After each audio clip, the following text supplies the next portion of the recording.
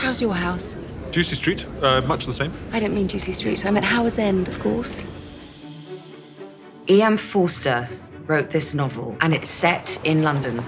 Howards End is basically the story of three different families from three different classes. There are the Wilcoxes, who are sort of upper middle class businessmen, and then there are the Schlegels, Yes, good afternoon. and they come from a sort of more bohemian background. And then there's Leonard Bast, who is a poor clerk. And the story is the interweaving of these three families and how they all relate to each other.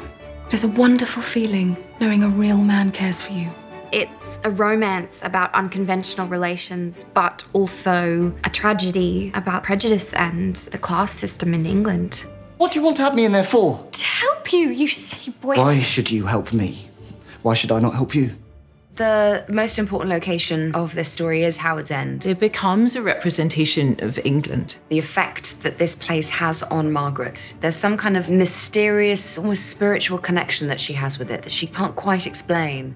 I like the combination of having a classic book, you know, a period drama, adapted by Kenny Lonergan, a contemporary writer, an American writer, Once I got into really writing it, one of the challenges was to take the most human elements of the book and translate that into dramatic action. There's always that double sided thing of looking at another time period where the fascination is both how different it is from the way you live and how similar it is. So I thought that was something that made the material so much more modern. It's a retelling of a classic. If you've got a wonderful script and lovely actors and a wonderful director, and hopefully it sort of plays itself. It's funny and it's sad. Ultimately, we want people to laugh and cry and have empathy for other people.